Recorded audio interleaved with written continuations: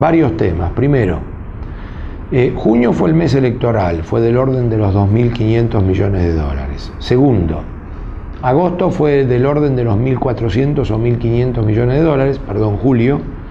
Tercero, agosto está siendo en el orden de los 800 o 1.000 millones de dólares. Entonces acá varias cosas. Mirado contra el mes electoral es alivio. Mirado contra un periodo de 12 meses es un montón, son 12 mil millones de dólares. Mirado contra 43 mil millones en dos años, o 21 mil, 22 mil por año, otra vez es alivio. Mirando contra la salida económica es un montón. Problema que Argentina ha entrado en un sendero donde muy probablemente conviva con esto. En los mejores momentos se vayan 800 o 1000 millones por mes, que es un montón, en los peores momentos más. Problema que tiene esto es que a mi juicio ha entrado el germen del ahorro en dólares. Cuando uno mira las estadísticas, esto es mayoritariamente compra de billete por parte del pequeño ahorrista, que evidentemente no tiene oportunidad alternativa a su ahorro. En la Argentina no ha caído el ahorro, pero está siendo utilizado para la compra de dólares.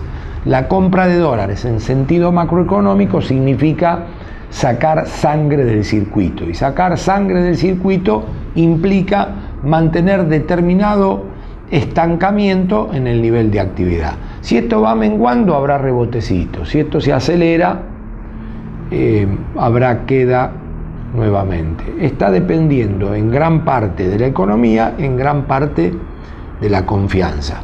Lo que está ocurriendo es que el ahorro básico vuelve a mostrarse después de un tiempo en la Argentina, que es en dólares.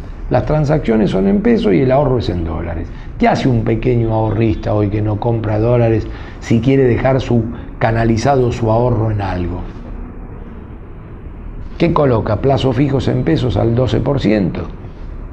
La otra pregunta es cuánto va a ser la inflación. 14, 15, 16. ¿Va a acompañar el dólar la inflación para que no se atrase?